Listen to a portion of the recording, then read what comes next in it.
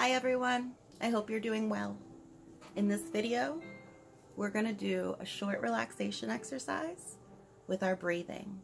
So I want you to find a space that's calming and relaxing for you, where you feel safe. If you need to pause this video, go ahead and do so now. And now that you're in your space, I want you to sit with your feet flat on the floor and your hands gently on your lap whatever feels comfortable for you. And now I'm going to ask you to close your eyes and simply focus on your breathing. Don't change anything, just be aware. Look inward. Recognize any sensations in your body, good or bad, without judgment. There's no judgment here. We're simply increasing awareness into ourselves. Scan your body from your head to your shoulders, to your stomach, to your knees and toes, and be aware of any tension, any sensations. And you notice that I was aware of my neck right there, and I kind of loosened it up because there's some tension. So now, as you recognize any area your body may be carrying tension, we're going to do some deep breathing to release that. So take a deep breath in through your nose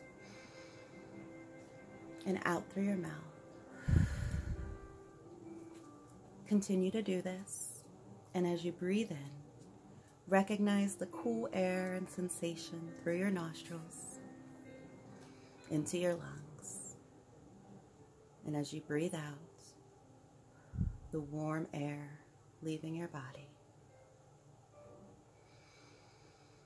Breathing in the breath of life. Breathing out stress or tension. Letting go. Simply telling your body what you would like from it. I would like to release tension in my shoulders. I would like to let go of stress in my lower back. And as you breathe in, connect to that stress. And as you breathe out, let it go. Continue to take a few deep breaths in through the nose, out through the mouth. Any negative thoughts or thoughts at all come to your head, simply let them pass by.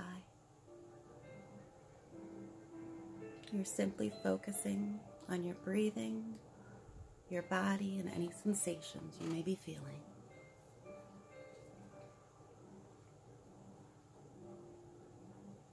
Doing short body check ins to be aware of how you're feeling and simply taking some deep breaths is so important throughout the day. And I encourage you to try this on your own. And remember, the more you practice any skill, the better it works. Stay well and breathe, guys.